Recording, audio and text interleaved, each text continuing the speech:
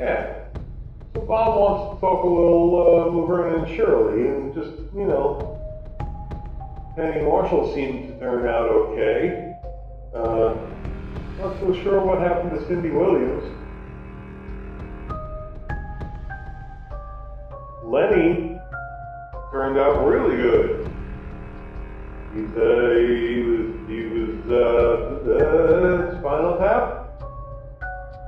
And, uh, now he's on that, uh, Don't Call Me Saul, or Saul, or 6489, whatever. Saul. That show. Squiggy again, not so much. Uh, I, I, I hear he's doing really good in the pizza delivery industry.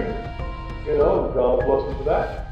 Uh, the, the big ragu has seemed to have fallen off the face of the planet. That is, you know, that, uh, I would ask Robert Engines, but he's dead.